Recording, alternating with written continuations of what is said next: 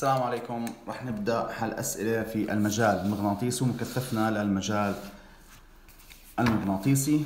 رح نبدأ بالسؤال الأول. طبعا في السؤال الأول عندنا في المكثف. السؤال بيحكي يتحرك جسيم مشحون كتلة 2 ملي جرام داخل مجال مغناطيسي منتظم بحيث كانت سرعته لحظة دخوله المجال 2 في 10 قوة 7 ويتحرك بتسارع مقداره 10 قوة 6 أجب عما يلي في فرع ألف طالب نحسب مقدار القوى المغناطيسية. هلا قاف مغناطيسية هي نفسها أو تساوي القوى المركزية عندما تكون حركة الجسم حركة دائرية منتظمة. ويساوي الكتلة مضروب التسارع المركزي. الآن السؤال معطيني كتلة جسم 2 ملي جرام فراح أعوض 2 في 10 قوة سالب 6 حولت الملي إلى تخلصت من الملي بضرب 10 قوة سالب 3 والجرام إلى كيلو جرام الآن في التسارع تبع هذا الجسم معطيني في السؤال 10 قوة 6 وهيك بقدر أطلع إنه جواب 2 نيوتن اللي هي القوة المغناطيسية نفس القوة المركزية. في فرع باء أحسب سرعة جسيم لحظة خروجه من هذا المجال. حكينا يا جماعة المجال المغناطيسي ركز معي. هلا يغير من اتجاه عين السرعة ولا يغير مقدارها. يعني هو قادر على تغيير اتجاهها بس ما بيغير مقدارها. ودليل على هيك. إنه الشغل المبذول يساوي صفر في نقل الشحنة في مجال مغناطيسي، التغير في الطاقة الحركية يساوي صفر، والتغير في سرعة الجسم يساوي صفر، تذكروا هدول الثلاث، راح اسالك عنهم لقدام. الآن إذا سرعة الجسم راح احكي له تبقى ثابتة اللي هي 2 في 10 قوة سالب 7 متر لكل ثانية، لا تتغير سرعة هذا الجسم. في فرع جيم ما نوع حركة الجسم داخل هذا المجال وما نوع التسارع الذي يكتسبه. الآن طبعا كونه كانت القوى المغناطيسية تساوي القوى المركزية إذا بدي أحكي له هي حركة دائرية منتظمة. تمام؟ هاي أول نقطة. ما نوع التسارع هو تسارع مركزي مرافق للحركة الدائرية المنتظمة. فرع د احسب نص قطر دوران الجسيم داخل هذا المجال المغناطيسي. ممكن استخدام قانون التسارع المركزي اللي هو عين تربيع على نون قاف مربع سرعة الجسم يا جماعة 2 في 10 قوة 7 لما مربعها بصير 4 في 10 قوة 14 على نصف القطر هو مطلوب مني في السؤال نون قاف علما أن التسارع المركزي معطى في السؤال 10 قوة 6 وعليه 10 قوة 6 نون قاف هي تساوي 4 في 10 قوة 14 على 10 قوة 6 على 10 قوة 6 نستنتج إنه نون قاف نصف القطر تساوي 4 في 10 قوة 8 متر. لا السؤال الثاني. في نص السؤال الثاني أو سين اثنين راح أعدل لكم إياها شوي. هاي. في السؤال الثاني عندنا سلك مستقيم لا نهاية الطول. بحب يذكر كلمة لا نهاية الطول عشان نعرف إنه ما في نقاط تقع امتداده. لأنه بكون نقاط تقع امتداده مجالها المغناطيسي يساوي صفر. يسري في تيار مقداره 4 امبير الشكل ثم أجمع ما يلي مقدار واتجاه القوة المغناطيسية مؤثرة على وحدة الأطوال من السلك. في فرع ألف. قوة لوحدة اطوال قاف على لام. تساوي. تاء غين جيب ثيتا. المجال اللي يعوض دائما في القوى المغناطيسية المؤثرة على السلك هو المجال الخارجي وهذا السلك معرض لمجال خارجي معطيه سؤال 2 في 10 قوة سالب 5 التيار البسري في هذا السلك قيمته 4 مجال خارجي 2 في 10 قوة سالب 5 في جيب. إذا نطلع على المجال بنلاقيه نحو الداخل وبنلاقي التيار هيك. إحنا قلنا لما نلاقي مجال إكس أو دوت يعني داخل أو خارج بنحكي إنه الزاوية 90 4 في 2 عندي 8 في 10 قوة سالب 5 طبعا نيوتن لكل متر لا تنسى لأنك حسبت قوة لوحدة اطوال الاتجاه إبهام مع اتجاه التيار أصابع مع المجال نحو الداخل. بعيد كمان مرة إبهام مع اتجاه التيار بعدين بحط اصابعي بغرسها نحو الداخل. وراح أرسم رسم صغير هون عشان أورجيك. هي اتجاه تاع التيار عندي مجال المغناطيسي إكس فبتطلع القوة هون. وتأكد إذا بتحب استخدام قاعدة اليمنى كيف عرفت؟ لأنها تصنع دائما مع التيار زاوية 90 ومع المجال زاوية 90 قوة تعامد كل من المجال والتيار. هلا إذا رسمت بس محاور هيك متعامده عشان أقدر أحكي وين اتجاه القوة بقول له هي بين الجنوب والشرق فهي جنوب شرق. في فرع باب مقدار القوة المغناطيسية على البروتون يعبر من عند النقطة ألف، شوف لما تحسب قوة مغناطيسية بتأثر على البروتون اللي هي شحنة فهي شين عين محصلة غين جيب ثيتا، وهون الفرق. دائما في القوة المغناطيسية بتأثر على السلك بحط المجال الخارجي، والقوة المغناطيسية بتأثر على شحنة بحط محصلة المجال، إذا أنا علي مهمة إني أحسب محصلة المجال قبل ما أبدأ حل. عشان أحسب محصلة المجال أول شيء بدي أحكي لك إنه في مجال خارجي من نص السؤال. قيمته 2 في 10 قوة سالب 5 تسلا واتجاهه نحو الداخل هيك أعطى السؤال. هلا أنا في عندي مجال بيأثر على النقطة هاي اللي هي ألف لانها هي النقطة التي تعبرها الشحنة من بسبب السلك. طبعا عشان أحسب مجال هذا السلك عند النقطة ألف بحكي عبارة عن ميو نوت في تاء على 2 باي فاء لأنه سلك مستقيم. ف 4 باي في 10 قوة سالب 7 ثابت. التيار اللي مار فيه اللي هو 4 على 2 باي في. المسافة بين النقطة ألف بين السلك هي 5 سنتيمتر فراح أحط 5 في 10 قوة سالب 2 هلا بدي أختصر هون فيها باثنين بيطلع الجواب 8 على 5 يعني 1.6 في 10 قوة سالب 5 تسلا. اتجاه بامي تيار عند النقطة ألف بكون كاميرا للاتجاه بحط بهام على اتجاه التيار. وأصابعي يشيروا للمجال مجال دوت عند النقطة ألف خارج. مجالين متعاكسين محصلة المجال تساوي المجال الأكبر اللي هو 2 في 10 قوة سالب 5 ناقص 1.6 في 10 قوة سالب 5 يعني الجواب يا جماعة 4 بالعشرة في 10 قوة سالب 5 تسلا. والاتجاه مع الأكبر نحو الداخل. هلا من حقي أستخدم القانون وأعوض. حكى لي بروتون إذا بحط شحنة البروتون اللي هو 1.6 في 10 قوة سالب 19 في. السرعة الماشية فيها اعطاني اياها 1 في 10 قوة 5 في محصلة المجال المغناطيسي حسبناها 4 بالعشرة في 10 قوة سالب 5 في جيب يلا ركزوا معي. هلا أنا عندي المجال المغناطيسي أو محصلة المجال المغناطيسي طلعت إكس نحو الداخل والبروتون حكى لي يعبر نحو الشرق يعني هي البروتون متحرك باتجاه اليمين هاي عين سرعته. اذا الزاوية بينهم 90 جيب 90 يساوي 1 في عندي أنا بضرب 4 هون ب 1.6 6.4 64% في 10 قوة سالب 19 نيوتن. الاتجاه إبهامي سرعة أصابعي مجال نحو الداخل عمود على راحة اليد قوة يعني نحو صاد الموجب نكمل في السؤال الثالث. في السؤال الثالث يا جماعة عم بحكي لي عن آه، بطاريتين موجودة داخل دارة كهربائية بس بحكي لي مين منهم قوى الدافعة الأكبر حتى السلك هذا ينكمش. ركزوا معي شوي. هذا بيعتمد على قوة منصية مؤثرة على السلك فإذا رسمت البطارية الأولى هاي قاف دال واحد موجود ضمن الدارة وهاي البطارية اثنين قاف دال اثنين الاثنين مربوطين هون داخل دارة مع مفتاحها. هلا إذا أغلق المفتاح فيتولد هون تيار كهربائي اسمه تا واحد وهون إذا أغلق بتولد تيار كهربائي اسمه تا اثنين. طبعا لا ننسى إنه المجال المغناطيسي عمودي على الصفحة نحو الداخل. أنا رسمت الرسمة بس. هلا ركز معي إذا بتحط ابهامك مع اتجاه تيار تا واحد وأصابعك مع المجال نحو الداخل بتطلع القوة المغناطيسية للداخل. يعني نحو المركز يعني أنا بقصد هون تؤدي إلى انكماش السلك. هلا في حال هون حطيت ابهام على اتجاه التيار واصابي مجال بتطلع القوة المغناطيسية للخارج بعيدا عن المركز. إذا بتؤدي إلى تمدد خلينا نحكي السلك. هو بده الآن اليوم منهما لازم تكون أكبر حتى ينكمش. إذا حتى ينكمش لازم أعتمد هذا التيار يكون أكبر عشان يصير انعماد. عشان يصير انكماش. إذا بدي احكي تيار الأول لازم يكون أكبر من تيار الثاني. حتى ينكمش السلك. في سؤال أربعة. عندنا في سؤال أربعة مجموعة من الشحنات داخل مجال مغناطيسي. هلا بحكينا في في السؤال إنه الأربع شحنات متساوية في الكتلة يعني كتلة الأول تساوي كتلة الثاني تساوي كتلة الثالث تساوي كتلة الرابع. وبرضه متساوية في السرعة معناته سرعة الأول تساوي سرعة الثاني تساوي سرعة الثالث تساوي سرعة الرابع. طالبا نرتبها حسب نوع شين ومقدار شين.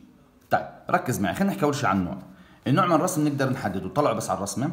عند الشحنة رقم واحد يا جماعة أكملت مسارها خط مستقيم. فإحنا دائما بنعرف إنه الشحنة اللي بتكمل مسارها في خط مستقيم هي متعادلة كهربائيا.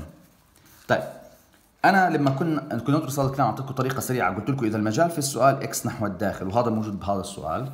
فالشحنة اللي بتدور مع عقارب الساعة بتكون شحنة سالبة والشحنة اللي بتدور عكس عقارب الساعة بتكون شحنة موجبة. يعني امشي معي شوي. شحنة شين اثنين دوران هي أستاذ كان مع عقارب الساعة. مع عقارب الساعة إذا هي شحنة سالبة. شين اثنين سالب شحنة شين ثلاث بتدور قاعدة عكس عقارب الساعة. كونها عكس إذا هي شحنة موجبة. والشحنة شين أربعة قاعدة بتدور في الشكل مع عقارب الساعة. إذا هي شحنة سالبة. هلأ طالب أرتبهم حسب الشحنه ممتاز. الترتيب والتصنيف يا جماعة. حسب مقدار الشحنة بيتم عن طريق قانون نون قاف تساوي كاف في عين عشين في غين. عندي كلهم بنفس المجال سرعتهم نفسها كتلتهم نفسها فالعلاقة بين نص القطر والشحنة هي علاقة عكسية. وعليه تعالوا نرتب الآن حسب أنصاف الأقطار. أنا عندي يا أستاذ في الشكل النون قاف تبعت اثنين تساوي تماما النون قاف تبعت ثلاث. أورجيكم على الرسمة شوف. نصف القطر تبع اثنين هو نفس نص القطر تبع ثلاث. ولكن كلاهما نص قطره أقل من نص قطر أربعة. أربعة تحمل أكبر نص قطر. يعني نص قطر اثنين يساوي نص قطر ثلاث وهما أقل من نص قطر أربعة.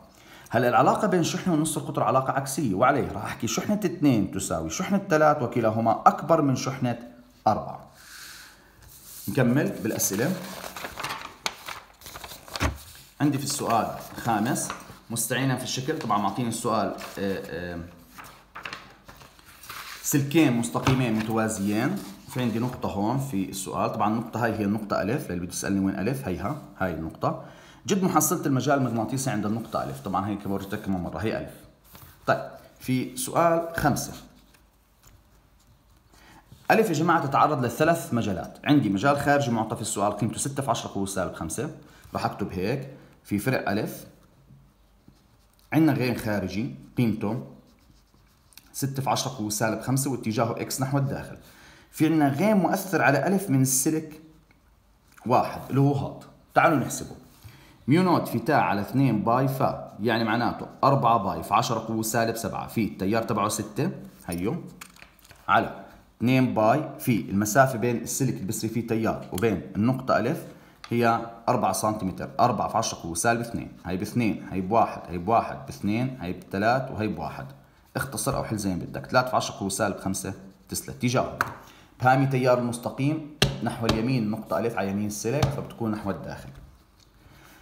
بدي المجال المغناطيسي المؤثر على ألف من السلك رقم 2 ويساوي 4 راح اعوض مباشرة 4 باي في 10 قوة سالب 7 تياره 4 على 2 باي في المسافة 2 في 10 قوة سالب 2 2 بواحد 2 مع 2 فالجواب 4 في 10 قوة سالب 5 تسلا.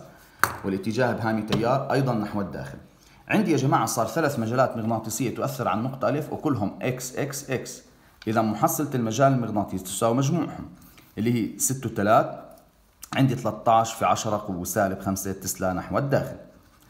هلا في فرع بقى بدي النقطة أو النقاط التي يمكن أن تمر فيها شحنة نقطية ولا تتعرض لقوة مغناطيسية إلا من المجال الخارجي. هسا إذا جبت لي أنت شحنة وعبرت هون عن نقاط رح تكون معرضة لثلاث مجالات مجال خارج ومجال سلك أول ومجال سلك ثاني. هو بده المجالات تكون بس من الخارجي يعني أهم المجال الأول والثاني اللي هو طريقة طرح سؤال أين تقع نقطة الانعدام؟ لسلكين متوازيين مستقيمين لما يكون عندنا سلكين متوازيين قيمة التيار الأول 4 أمبير وقيمة التيار الثاني 6 أمبير والمسافة بين السلكين 2 سنتيمتر. كانوا بيسألك سؤال حدد موضع نقطة انعدام للمجال المغناطيسي تيارين اللي مع بعض يا جماعة نقطتين تقع بينهما وأقرب للأصغر يعني تفترضها هون بفترض إنه بعدها عن السلك هذا أو المسافة الصغيرة ف فراح يكون بعدها عن هذا هيك عن السلك الثاني تساوي المسافة الكلية ناقص ف وعليه بساوي مجال الأول بمجال الثاني وبطلع فا. يعني ميو نوت في تاء على 2 باي فا. تساوي ميو نوت في تاء على 2 باي فا. هذا الأول أول وهذا الثاني ثاني. ميو نوت مع ميو نوت 2 باي مع 2 باي يلا. نفترض هذا التيار الأول. قيمته 4 أمبير. بعده عن النقطة اللي فرضناها اللي هو فا. التيار الثاني 6 أمبير.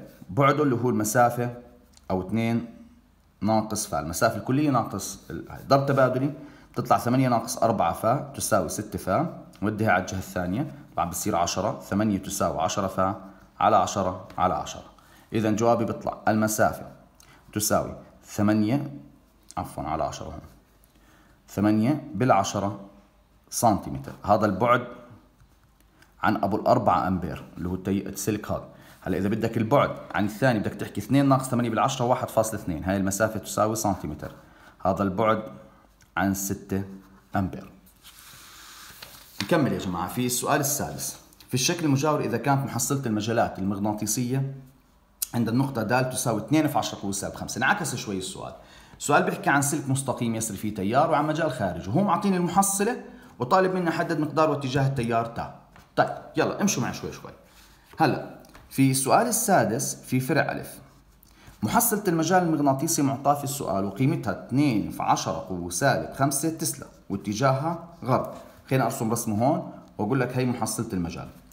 المجال الخارجي يا جماعة قيمته 4 غين خارجي تساوي 4 في 10 قوة سالب 5 تسلا واتجاهه حسب الرسم شرق هي مجال خارجي. إذا بدها تكون المحصلة نحو اليسار إذا لازم يكون مجال السلك نحو اليسار ويكون هو أكبر. دائما محصلة المجال بتكون مع المجال الأكبر. إذا استنتاجي إنه المجال هذا لازم يكون نحو الشرق اللي هو مجال السلك لازم يكون غربا. وعليه بتكون محصلة المجال هي عبارة عن مجال السلك ناقص المجال الخارجي. هلأ محصلة المجال في السؤال معطيني إياها 2 في 10 قوة سالب 5 مجال السلك الآن مجهول منه نطلع التيار. ناقص مجال خارجي 4 في 10 قوة سالب 5 خلينا نوديها على الجهة الثانية بيطلع مجال السلك يساوي 6 في 10 قوة سالب 5 تسلا هلا أين اتجاهه؟ طبعا حكينا نحو الغرب. هلا أنا كوني معي اتجاه المجال تبع السلك بقدر أحدد اتجاه تيار وركزوا معي. هاي التيار طبعا التيار هيك فبده يكون دوران المجال يا مع يا عكس عقارب الساعة حسب اتجاه التيار. بدي الآن اتجاه المجال عند النقطة د أنا مطلعه إنه لازم يكون نحو الغرب. هاي موضوع المماس. يعني كأني بقول لك إنه المجال بكون عبارة عن حلقة دائرية تحيط بالسلك. وكان بده يلف هيك إذا بده يدور بعكس عقارب الساعة. بحط أصابع مع اتجاه المجال بهام يشيل التيار فالتيار لازم يكون نحو الداخل. ضل علي مهمة أخيرة إني أحسب مقدار التيار. هلا غين السلك قانونه mu naught في تا على 2 pi فا؟ غين السلك 6 في 10 قوة سالب 5 mu naught 4 pi في 10 قوة سالب 7 تيار السلك مستقيم ما بعرف. 2 pi. شوفوا مسافة بين التيار وبين النقطة هي 4 سنتيمتر. فضرب 4 في 10 قوة سالب 2 2 بواحد 1 ب 2 بالضرب التبادل بتطلع 12 والأسس بتروح مع بعضها. إذا انتهى واتجاهه نحو الداخل زي ما اتفقنا بالنسبة للاتجاه. في فرع باء بده القوة المغناطيسية المؤثرة على 5 سم من هذا السلك. أوكي. هلأ آه، قاف تساوي تا لام غين جيب ثيتا. أنا بحسب قاعد للسلك. وتذكروا قلت لكم بالسلك دائما بنعوض المجال الخارجي. طلع الشكل راح أعوض هذا المجال. أوكي؟ طيب. طبعا السلك اتفقنا تياره نحو الداخل والمجال المغناطيسي المؤثر عليه نحو اليمين. فنعوض. تيار المار بالسلك حسبناه مع بعض الفرع الماضي كان 12 لام طول السلك حكى لي 5 سم 5 في 10 قوة سالب 2 والمجال الخارجي في نص السؤال 4 في 10 قوة سالب 5 في جيب طبعا 90 على الشكل الموضح جيب ال 90 هاي فيها بواحد أنا عندي هون 25 240 في 10 قوة سالب 7 نيوتن. الاتجاه بهامي تيار أصابي مجال تطلع القوة نحو الجنوب. نحو الجنوب. في سؤال سبعة. الشكل يمثل ملف دائري مكون من ثلاث لفات وموصل مستقيم. بالاعتماد على البيانات المثبتة عليه فاحسب مقدار وحدة اتجاه القوى المغناطيسية المؤثرة في شحنة لحظة مرورها بالنقطة مين بسرعة 3 في 10 قوة 5 متر لكل ثانية. أوكي في سؤال سبعة. هلا أنا بدي إياك بس تركز معي. النقطة ميم يا جماعة في لها مجالين. في مجال مؤثر عليها من السلك المستقيم ومن الحلقة الدائرية. فبدأ أبدأ مجال أحسب مجالاتها لأنه إحنا بالقوة المغناطيسية مؤثر على شحنة المفروض نعوض محصلة المجال. مش زي السلك قبل شوي. فبدي أحسب أول شيء المجال من الملف الدائري اللي يساوي mu naught في تاء في نون على 2 نون قاف. يعني عندي 4 pi في 10 قوة سالب 7 في تيار الملف الدائري في السؤال هي موجودة على الرسم 4 أمبير. في نون عدد لفات ومعطيك في نص السؤال 3 على 2 في نص قطر واضح بالرسم 3.14 3.14 هي نفسها قيمة طبعا في 10 قوة سالب 2 لأنها سنتيمتر. نفسها قيمة pi. أنا عندي الأربعة هذا اختصرها على 2 هاي فيها بواحد. وعندي 2 في 4 8 في 3 هي 24 في 10 قوة سالب 5 تسلا. الاتجاه أصابع تيار ابهامي يشير لاتجاه المجال فالمجال dot باتجاه الناظر. تعالوا نحسب هسه مجال المستقيم. mu naught في تا على 2 pi فا. يعني عندي الأربعة pi في 10 قوة سالب 7 في تيار السلك المستقيم يا جماعة 6 على 2 pi. في المسافة بين السلك المستقيم وبين النقطة عندي مجموع القيمتين هدول. يعني عندي 3 وست عندي 3.14 و86% يعني جواب 4 ف4 في 10 قوة سالب 2 هاي فيها ب2 فيها بواحد فيها بواحد فيها ب2 فالجواب 3 في 10 قوة سالب 5 تسلا. بالنسبة لاتجاه إبهامي تيار على اليمين بكون نحو الداخل طيب تمام. هلا عندي مجالين هم متعاكسين في الاتجاه فمحصلة المجال المغناطيسي تساوي المجال الأكبر اللي هو ال 24 ناقص مجال الأقل فالجواب 21 في 10 قوة سالب 5 تسلا والاتجاه مع الأكبر اللي هو باتجاه الناظر. هلا بحسب القوة المغناطيسية بتأثر على الشحنة هي ش عين محصلة غين جيب ثيتا لا تنسى للشحنة محصلة مجال.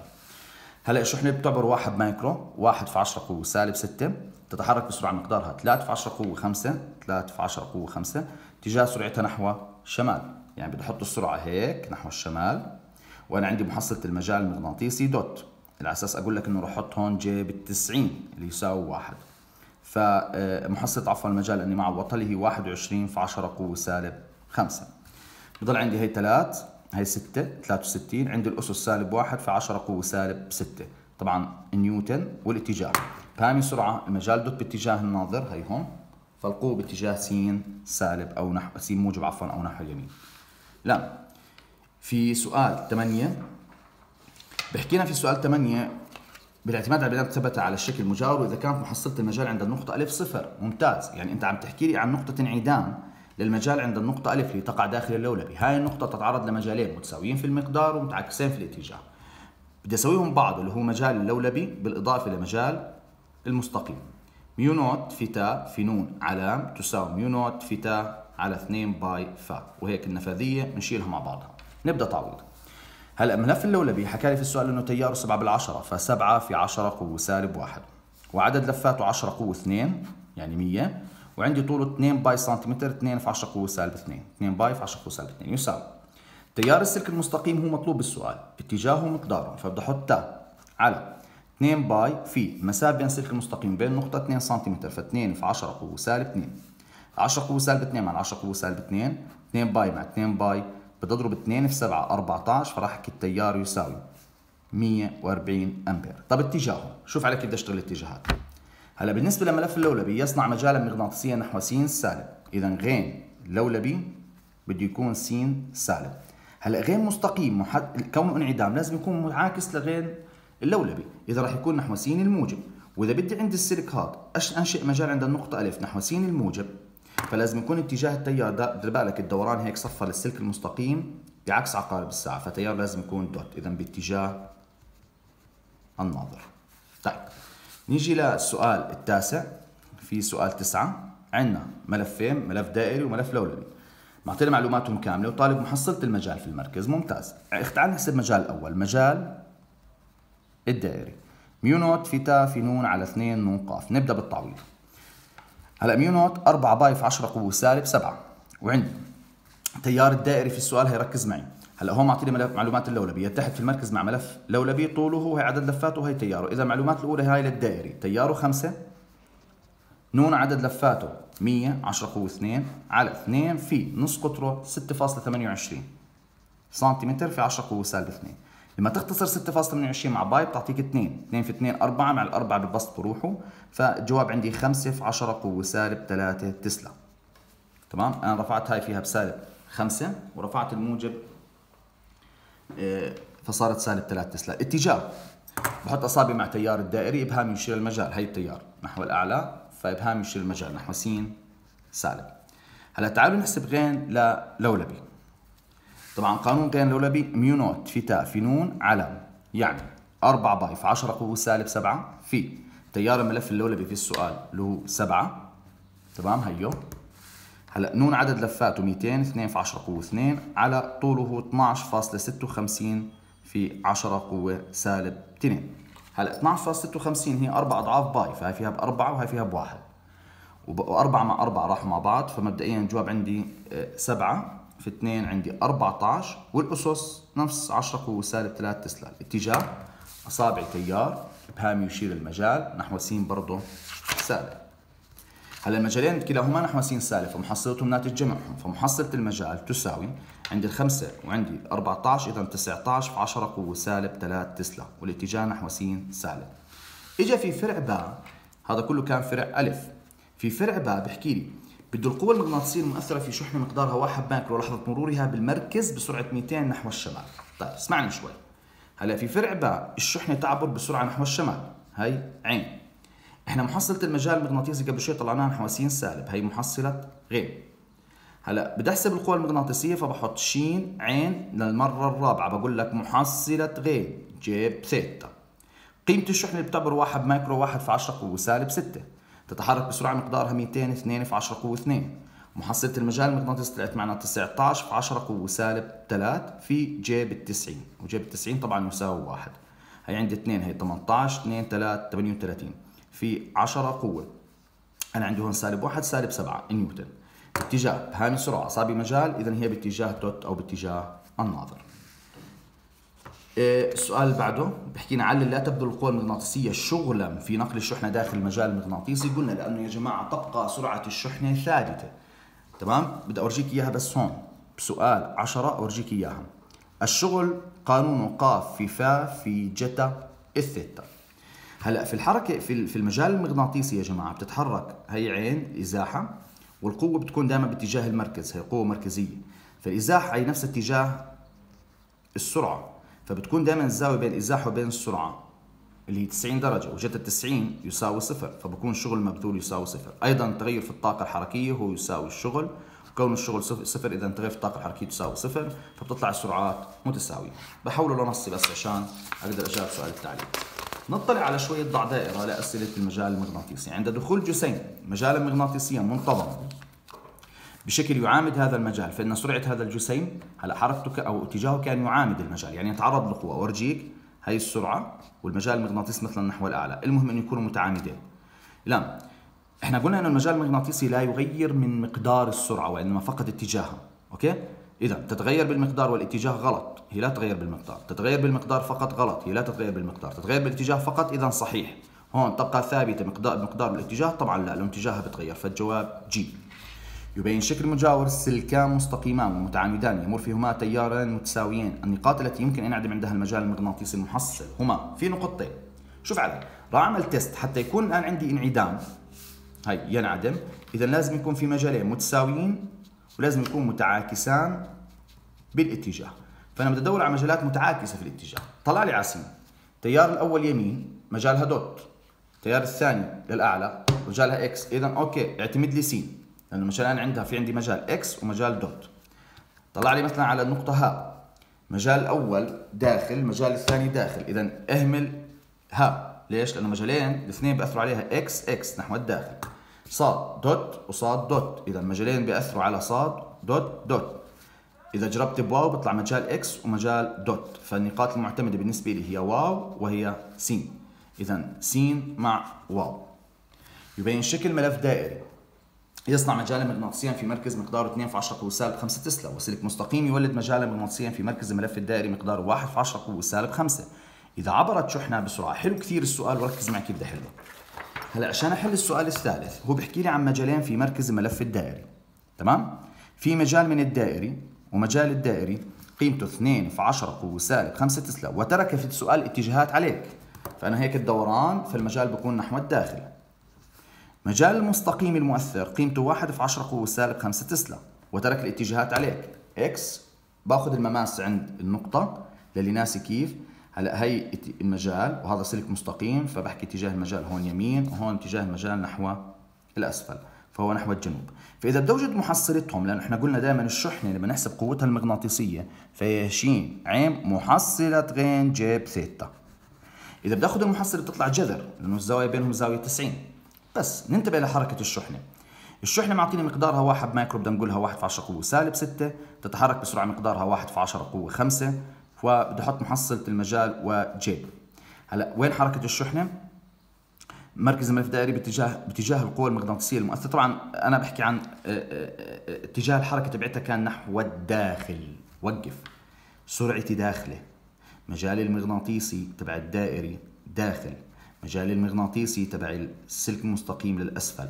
هلا ركز معي. لما يكون في مجالين بينهم زاوية 90 وبدك تحسب القوى المغناطيسية. تأكد. إذا كانت السرعة مع أو عكس أحد المجالين يلغى. ليش أستاذ؟ لأنه طلع لي على السرعة والمجال هون. هون بنفس الاتجاه فالزاوية بينهم صفر. وجيب الصفر كم يساوي؟ صفر. إذا ما بهي داعي أدرس مجال الدائري. ركز بالفكرة. صف عندك تدرس مجال المستقيم اذا هون أنا تعويضي مش لمحصلة المجال بس للمستقيم كحالة استثنائية بس. okay؟ آه، مجال المستقيم واحد في 10 قوة سالب خمسة. والجيب طبعا اللي هو بين X وبين الأسفل جيب التسعين راحت فيها بواحد فالجواب واحد في 10 قوة هدول راحوا مع بعض سالب 6 نيوتن. الاتجاه إبهام مع اتجاه السرعة أصابعي مجال نحو الجنوب. العمودي راح ثلاث قوة نحو س سالب. إذا نحو الغرب نحو الغرب هي خياراتي. واحد في 10 قوة سالب 6 فرع ألف. حتى تستمر شحنة موجبة بالحركة في خط مستقيم نحو الشرق. هي ماشية باتجاه الشرق وبدي تخلي مسارها في خط مستقيم. في مجال مغناطيسي منتظم فيجب أن يكون اتجاه هذا المجال المنتظم نحو شوف هي أصلا مجال مغناطيسي بيؤدي لانحراف الشحنة فممكن تنحرف للأعلى أو تنحرف نحو الأسفل. إحنا قلنا هو يغير اتجاه سرعتها. بده إياها تمشي بخط مستقيم اذا أنت بدك قوتها المغناطيسية تكون تساوي صفر على راسي. إذا بدنا القوه المغناطيسية تكون تساوي صفر اذا لازم يكون السرعة تعا... عفوا توازي الغير يعني قصدي المجال المغناطيسي لازم يكون معها أو يكون مجال مغناطيسي عكسها إذا المحاور بدي إياها للمجال تكون شرق أو غرب فهي عندي هون دال غرب. طبعا ما في شرق لأنه بصير السؤال خطأ. الان يبين الشكل الآن سلك على شكل شبه منحرف يسري فيه تيار كهربائي موضوع في مجال مغناطيسي منتظم. إن الضلع الذي يتعرض لأكبر قوة مغناطيسية هو الضلع نشوف الضلع المعرض لأكبر قوة. طيب هلأ قانون القوة المغناطيسية اللي هي تا لام غين جيب ثيتا كلهم ضمن دارة واحدة فالتيار تبعهم ثابت. عندي الاختلافات طبعا في طبعا والمجال المغناطيسي مؤثر عليهم واحد نحو الشمال. الاختلافات هي في الطول وفي جيب الزاوية. متى تكون القوة المغناطيسية أكبر ما يمكن؟ لما تدرس ثيتا تساوي 90 فلهيك راح أهمل الضلع صاد س وراح أهمل الضلع زين ها. يعني صاد س اهمل لي إياه وها زين اهمل لي إياه لأنه هنا في عندي زوايا. شوف هاي.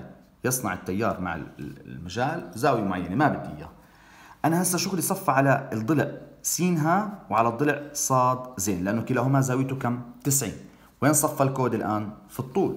لأن اللام تبعت صاد زين هي أكبر من لام تبعت س ها لاحظ هي طول صاد زين وهي طول س ها فهالطول أكبر. فلهيك رح يكون مجال صاد زين أعلى من مجال س ها فالجواب صاد زين أو زين صاد. طيب. عندنا السؤال بعده اللي هو السؤال الثاني عشر هو الأخير في المجال المغناطيسي. طبعا السؤال أول ما أطلع عليه بشوف أنا جهدين okay؟ ألواح متوازية. وفي عندي مجال مغناطيسي هون في السؤال dot كيف أنا عندي قوة لورنتس في السؤال. الشكل المجاور يمثل جسيم مشحون بشحنة واحد مايكرو كولوم يدخل حيز بين لوحين متوازيين تفصل بينهما مسافة 5 سم موضوعان في مجال مغناطيسي منتظم مقداره 3 تسلا طبعا متحرك بسرعة 3 في 10 قوة 4 متر لكل ثانية. احسب جهد اللوح الموضح في الشكل ليتأثر الجسم بقوة لورنتز مقدارها 7 بالعشرة نيوتن. ممتاز. هلا الجهد موجود ضمن القوى بس أنا يعني قبل بداية السؤال أنت معطيني في السؤال 12 معطيني إنه قوة لورنتز اللي هي محصلة القوة تساوي 7 في 10 قوة سالب 1 نيوتن. واتجاهها نحو الجنوب. هلا أنا ممكن أحسب القوة المغناطيسية اللي هي ش عين غين جيب ثيتا. قيمة الشحنة 1 مايكرو 1 في 10 قوة سالب 6 السرعة الماشية فيها هاي الشحنة 3 في 10 قوة 4 وعندي المجال المغناطيسي المؤثر عليها في نص السؤال 3 تسلا. وعندي جيب التسعين لأنه سرعتها نحو اليمين والمجال dot باتجاه الناظر. وهيك بقدر أقول لك إنه الجواب هون بيطلع 9 في 10 قوة سالب 2 نيوتن يعني إذا بدك يعني خلينا نكتبها 9 بالعشرة في 10 قوة سالب 1 نيوتن طبعا اتجاهه بهامي سرعة أصابع مجال دوت باتجاه الناظر بتطلع القوة المغناطيسية نحو الجنوب هي قاف مغناطيسية نحو الجنوب طيب هلأ صار عندي القوة المغناطيسية قيمتها طلع محصلة المجال ركز معي قيمته كم؟ 7 في 10 قوة سالب 1 والقوة المغناطيسية طلع مقدارها 9 بالعشرة في 10 قوة سالب 1 نيوتن واتجاهها نحو وين؟ نحو الجنوب إذا طلع شو بدي أسوي هون؟ محصلة القوة نحو الجنوب وعندي قوة كمان نحو الجنوب. بس القوة هاي كمقدار 9 بالعشرة وهي 7 إذا لابد من إضافة مقدار جديد للتسعة بالعشرة لحتى أوصل لمين؟ للسبعة اللي هي محصلة المجال. اذا هيك بستنتج إنه القوة الكهربائية لازم تكون نحو الأسفل بنفس اتجاه القوة المغناطيسية. ومحصلة قوة لورنتز هي عبارة عن مجموع قوة كهربائية زائد قوة مغناطيسية. محصلة قوة لورنتز طلعت 7 في 10 قوة سالب 1 تساوي قوة كهربائية مجهولة زائد القوة المغناطيسية 9 بالعشرة في 10 قوة سالب 1 ودي هون على الجهة الثانية بتطلع القوة الكهربائية تساوي 6.1 في 10 قوة سالب 1 نيوتن. هلأ معنى اتجاهها في الشكل. أنا صار معي القوة إحنا بنعرف إنه القوة الكهربائية تساوي م في ش أنا بقدر أحسب مجال الكهربائي. 6.1 في 10 قوة سالب 1 تساوي مجال مجهول. قيمة الشحنة اللي هي في السؤال 1 مايكرو 1 في 10 قوة سالب 6 على 1 في 10 قوة سالب 6 على 1 في 10 قوة سالب 6 اختصارات بيطلع معي قيمة المجال تساوي 6.1 في 10 قوة 5 فولت لكل متر أو نيوتن لكل كولوم زي ما بدك. لا. إحنا بنعرف كمان في قانون بيحكي إنه جهد الألواح يساوي المجال في المسافه بين اللوحين. وأنا عندي في السؤال الجهد خليه مجهول هو فرق الجهد بين اللوحين. قيمة المجال الكهربائي 6.1 في 10 قوة 5 والمسافة بين اللوحين يا جماعة 5 سنتيمتر. يعني 5 في 10 قوة سالب 2 بضل عندي هون أحكي أنا 6.1 هي 5 1 هي 5 5 هي 30 30 ونص في 10 قوة 3 طبعا هاي الجهد الكهربائي وحدة طبعا الفولت. هلأ الجهد هو عبارة عن ناتج طرح جهدين جهد مرتفع ناقص جهد منخفض تمام؟ هلأ فرق الجهد الكهربائي كم طلع؟ 30.5 والجهد هذا كم يساوي؟ 100 يعني لازم يكون هذا الجهد الأكبر. فبدي أحكي. جهد مجهول ناقص ال100 يساوي بدي بس أوحد الأسس هذا مالها 10 أس 2 فهي بتصير 300.5 في 10 أس 2 ودي على الجهه الثانية بصير جمع بجمعها مع واحد يعني جهد د يساوي 301 نص في 10 قوة 2 فولت.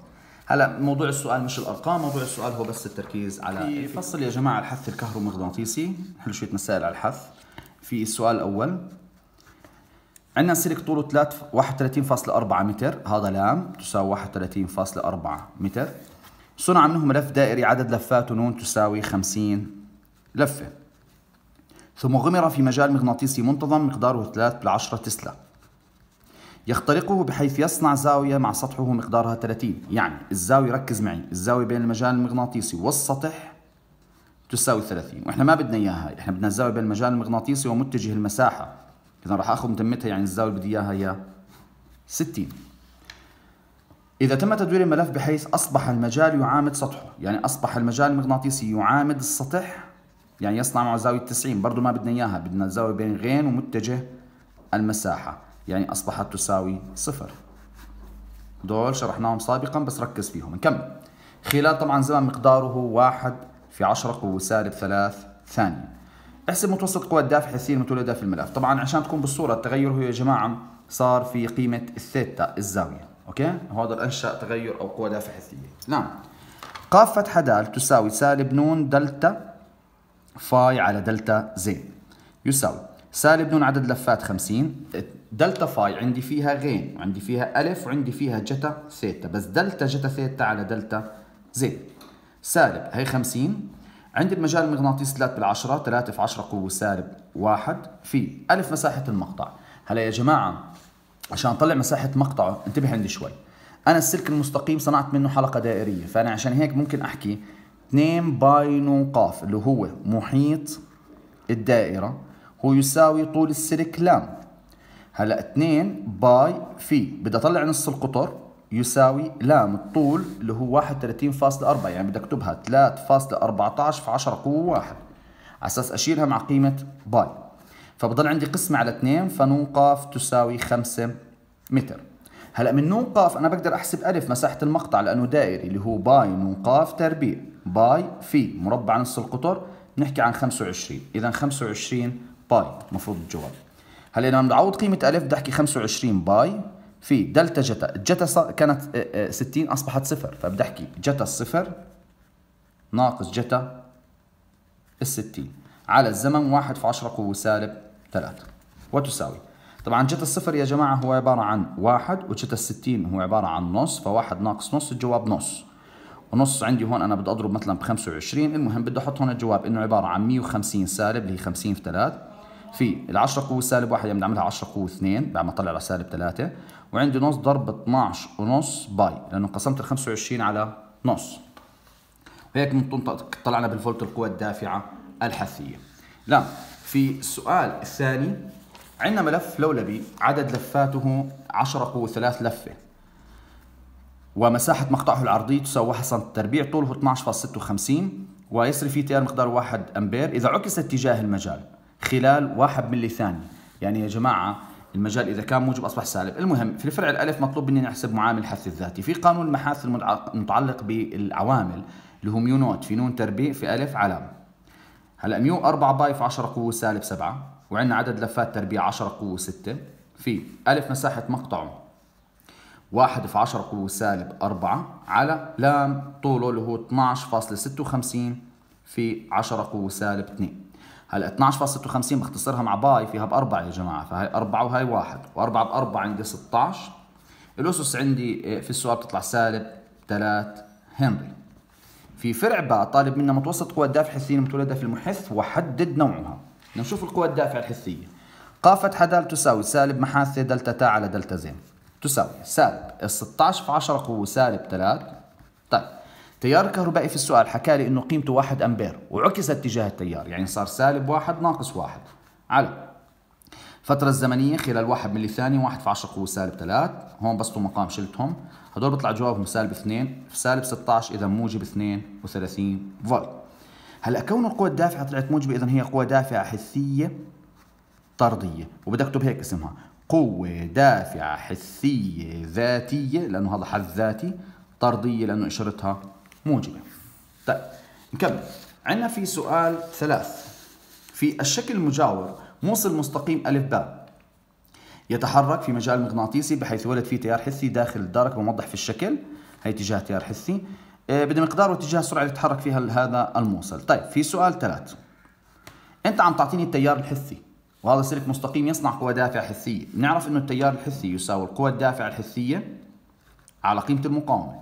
وهيك أنا بقدر أحسب القوة الدافعة الحثية بإنها تساوي التيار الحثي في السؤال قيمته 3 أمبير في المقاومة الكهربائية 3 اذا هي 9 فولت. قانون القوة الدافعة الحثية لموصل مستقيل لام عين غين.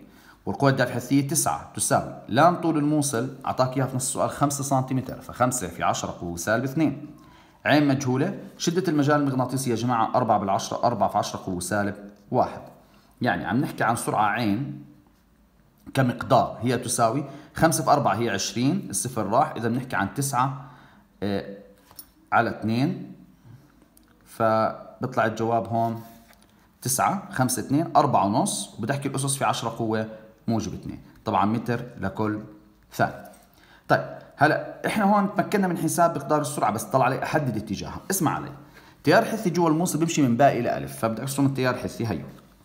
وتذكر التيار الحثي هو نفسه القوة المغناطيسية اللي بتأثر على شحنة موجب يعني قصدي نفس الاتجاه مش قصدي نفس المقدار يعني. المجال المغناطيسي عمودي على الصفحة نحو الداخل.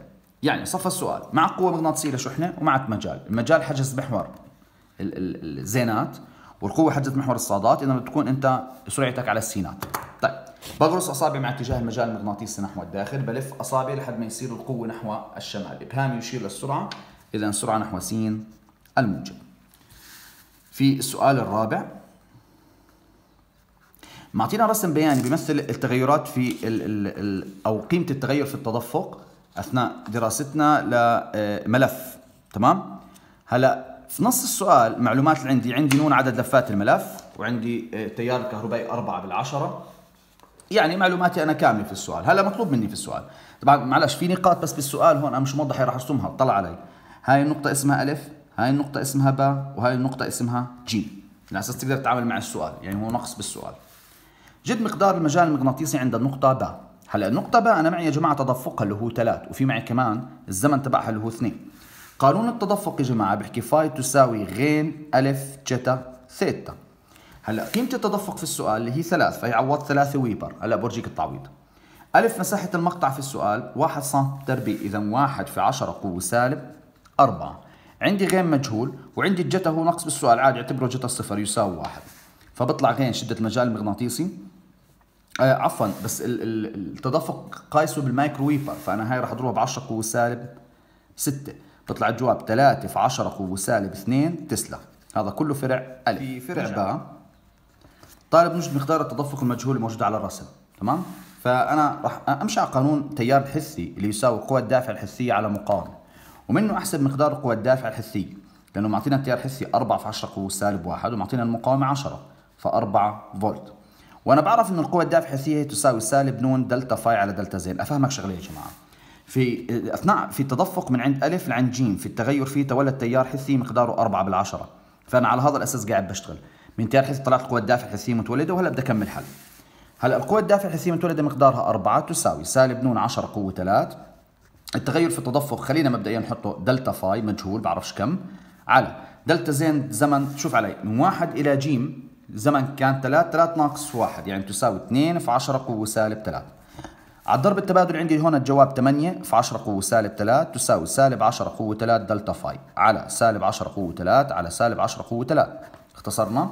إذا بدي أحكي دلتا فاي هي عبارة عن تساوي 8 في 10 قوة سالب 6 ويبر هلا أنا تمكنت بس بدي أحكي لك شغلة. هون التغيير في التدفق موجب يعني عندي زيادة تدفق فالقوى الدافعه الحثية لازم تحمل إشارة سالبة فأنا هون لازم أعوض إشارة سالبة. ركز بعيد.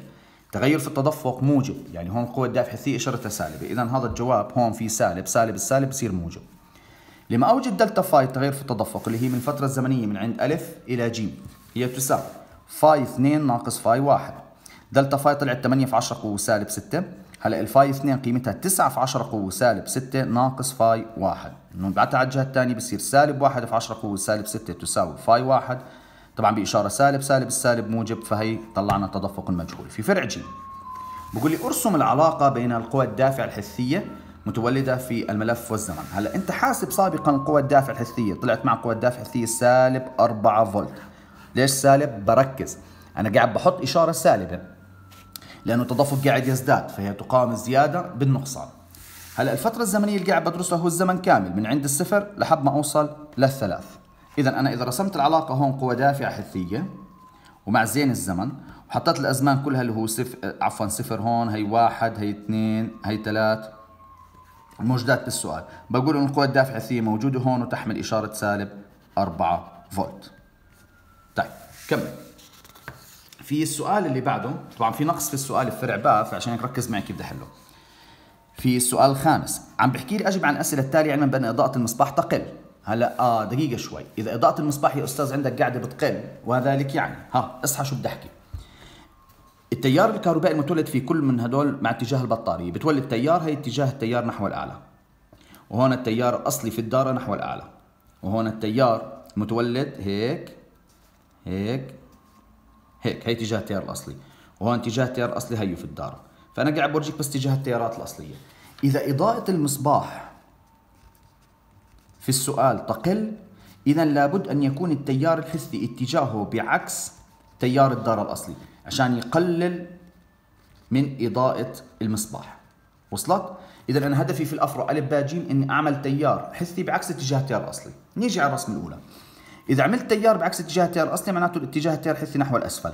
هي تاء فتحة. وإذا صار معي اتجاه التيار الحثي بطلع المجال المغناطيسي الحثي. إذا المجال المغناطيسي الحثي هون نحو اليمين. هذا غيم فتحة. اذا لحتى يكون هذا الكلام صحيح وعندي المغناطيس قاعد بيقترب اذا لازم يكون المجال المغناطيسي الأصلي هيك. ليه؟ لأنه قاعد بيقترب فهو يقام الزياده بإيش؟ بالنقصان. فالمجال الحثي بعكس المجال الأصلي. لا طبعا هذا يعني إنه هذا قطب شمالي وهذا يعني إنه ألف هي عبارة عن قطب شمالي. ليه؟ لحتى توافق هذا الكلام. هي جرب حتى يزبط هذا الكلام معك لازم يكون هذا قطب شمالي. هون في مشكلة في السؤال الفرع باقي إنه أنا مش معطيك الأقطاب فافترض معي إنه هذا جنوبي وهذا شمالي وحل السؤال. حدد لي يقترب أو يبتعد. يعني هذا معطى يا جماعة ما نقدرش نحل بدونه. حدد يقترب أم يبتعد. أوكي إحنا قلنا التيار الحثي بده يكون عكس التيار الأصلي وهذا يعني إنه هيك اتجاه المجال المغناطيسي. فتحة المجال المغناطيسي الحثي. اتجاه المجال الأصلي في السؤال هيو. وكونه تولد مجال مغناطيسي حثي مع اتجاه المجال الأصلي إذا بدي احكي هو قاعد بيعمل إبعاد أو ابتعاد. هون. حد اتجاه المجال المغمور. هذا سلك مستقيم. طيب هلا أنا عندي السرعة باتجاه اليمين؟ وبدي اكون بدي أكون مجال مغناطيسي أو تيار حثي عفوا عكس التيار الأصلي. طلع وين؟ هي التيار الحثي نحو الأسفل في السلك. لأنه التيار الأصلي نحو الأعلى. أنا قلت دائما عكسه حسب نص السؤال. إذا صار معي اتجاه التيار اللي هو العمودي على راحة اليد ومع اتجاه السرعة في السؤال أوكي؟ هاي الشكل. ابهامي هي السرعة. والقوة المغناطيسية تمثل التيار الحثي نحو الأسفل فأصابعي يشير إلى المجال إذا المجال في الشكل راح يكون dot. هون عند العملية العكسية التيار الحثي بده يكون نحو الأسفل زي قبل شوي لأنه عكس التيار الأصلي. صار مع اتجاه التيار الحثي والمجال المغناطيسي حدد السرعة السرعة نحو اليمين اللي هو عكس السؤال اللي قبل شوي. طيب نشوف بعض مسائل. عفوا ضع دائرة للحث الكهرومغناطيسي. في السؤال الأول لحظة إغلاق دارة محث. يلا ركز معي. لحظة الإغلاق في دارة المحث. شو بصير يا جماعة؟ دلتا تا على دلتا زين موجبي يعني ازداد التيار مع الزمن. دلتا فاي على دلتا زين موجبي يعني ازداد تدفق مع الزمن. والقوة الدافعة الحثية المتولدة بتكون قوة دافعة عكسية تقاوم الزيادة بالنقصان. إذا أنا بدور على إنه تكون القوة الدافعة الحثية الناتجة تكون عكسية وعكسية. طلع دلتا تا دلتا زين موجبة يعني ينمو التيار في الدارة تدريجيا. إذا جواب فرع جيم. في الشكل المجاور حتى يكون الطرف د جهدا موجبا فيجب أن يكون اتجاه المجال المغناطيسي. أوكي أنت بدك د تكون جهد موجب وهي تكون جهد سالب اللي هو كأنه بيحكي لك إنه اتجاه حركة الشحنات الموجبة نحو الأسفل عشان تكون أصلا قطب هون أو طرف موجب.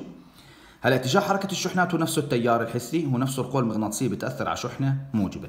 اذا أنا معطيني السرعة واتجاه القوى المغناطيسية وطالب اتجاه المجال.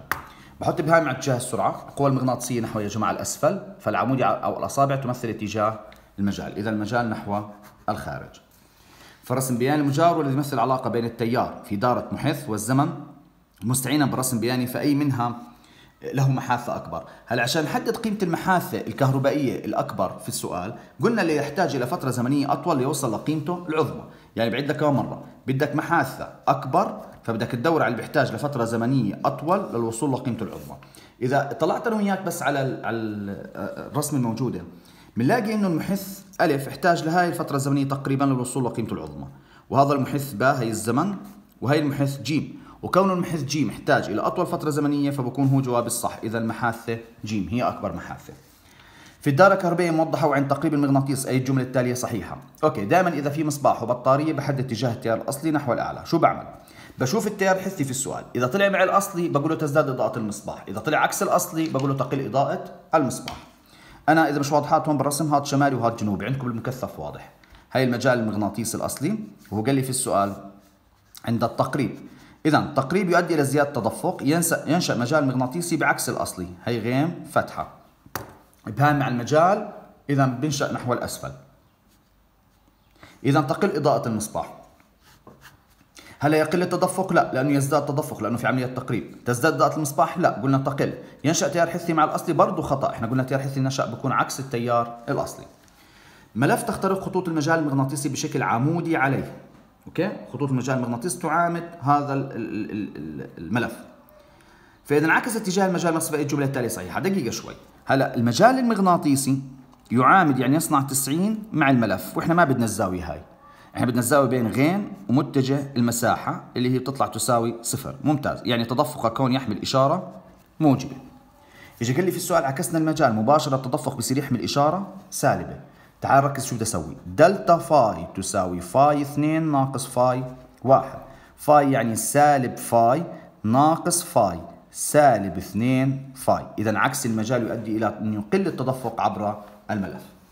نيجي للسؤال اللي بعده. عفوا. السؤال اللي بعده هو السؤال السابع بيحكي عن ملف. لولبي يتغير فيه التيار بمعدل هي سؤال سبعة يتغير التيار فيه بمقدار 2 أمبير. محدثا تغير في التدفق عبره مقداره 3 في 10 قوة سالب 3 ويبر. إذا كان عدد لفات الملف تساوي 10 قوة 3 لفة فأوجد متوسط القوى الدافعة الحثية المتولدة في الملف ق فتحة د كم تساوي؟ إذا أنقص ها ركز التيار بمقدار 6 أمبير كل ثلاث ثواني. يعني دلتا تا على دلتا زين أنقص سالب 6 3 يعني سالب 2 أمبير لكل ثانية طيب اسمعني شوي. هلا قوانين القوى الدافعة الحثية هم قانونين اللي هو سالب نون دلتا فاي على دلتا زين وعندك سالب ح دلتا تا على دلتا زين. أنا بقدر أشيل يا جماعة السالب هذا مع السالب وعوض قيمة الآن نون عدد اللفات 10 قوة 3 عندي التغير في فاي في تدفق 3 في 10 قوة سالب 3 طبعا بدي أشيل كمان الزمن مع الزمن عشان أخلص منه. بضل محاثة ودلتا تا حكى لي كم؟ 2 إذا عوضت هون 2 طبعا الموجب هون مع السالب تطلع المحاثة واحد نص. هنري الآن هو السؤال بده القوة الدافعة الحثية ممكن أستخدم قانون قافة حداد تساوي سالب محاثة دلتا تا على دلتا زين. ويساوي سالب قيمة المحاثة الكهربائية واحد نص. الآن التغير في التيار بالنسبة للزمن معطينا إياه جاهز يا جماعة؟ هيو. سالب 2 إذا ضرب سالب 2 بيطلع الجواب موجب 3 فولت طيب السؤال الأخير عندنا اللي هو السؤال الثاني. في السؤال الثاني بيحكي علل الكمية تعليلا علميا وافيا. عند سقوط مغناطيس سقوطا حرا نحو الأرض ومروره بملف لولبي يكون تسارعه أقل من تسارع الجاذبية الأرضية. شوف على التعليل بدي أشرح لك شغلة. في سؤال ثمانية. في فرع ألف. افهم علي. هي ملف لولبي وبدي اسقط مغناطيس في هذا الملف. بغض النظر عن أقطابه بس خلينا نفترض هون قطب شمالي. أثناء سقوطه يا جماعة يزداد تدفق. يقاوم ملف الزيادة في النقصان. رح ينشئ هون قطب شمالي. دائما التقريب ينشئ قطب مشابه عشان يعمل تنافر. والتنافر المغناطيسي الآن رح يقلل من عين سقوط. يعني قصدي سرعة إيش؟ سقوطه. فيحمل تسارعا أقل من ج اللي هي 10 متر لكل ثانية تربيع اللي هو تسارع الجاذبية الأرضية. لا الدارة التي تحتوي على مصباح ومحث عند غلق المفتاح يضيء المصباح تدريجيا. ليش؟ أحكي لك. لأنه هاي الدارة الآن عند لحظة إغلاق المفتاح في تيار أصلي يسري في الدارة. يتكون تيار حثي معاكس له في الاتجاه ليقاوم زيادة التدفق بالنقصان. وهذا يؤدي إلى أن يقل التيار بمر بالمصباح وهذا يؤدي إلى أن يضيء المصباح تدريجيا. الله يعطيكم العافية.